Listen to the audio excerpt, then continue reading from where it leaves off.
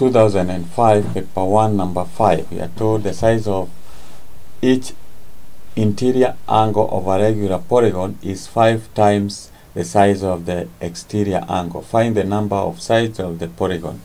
So if we say this is uh, the side of a polygon and uh, we are told that this, let's say the this angle is x then it means this angle is 5x so what we know is that uh, these two angles should add up to an 80 and therefore x plus 5x should be equals to an 80 uh, degrees. So this is 6x is equals to an 80 divide both sides by 6 divide both sides by 6 6 by 6 you get uh, this is uh, 30 so x, that is 1 so x is equals to 30 degrees. If x is equals to 30 it means 5 x is equals to uh, 30 times uh, 5 that is 150 degrees.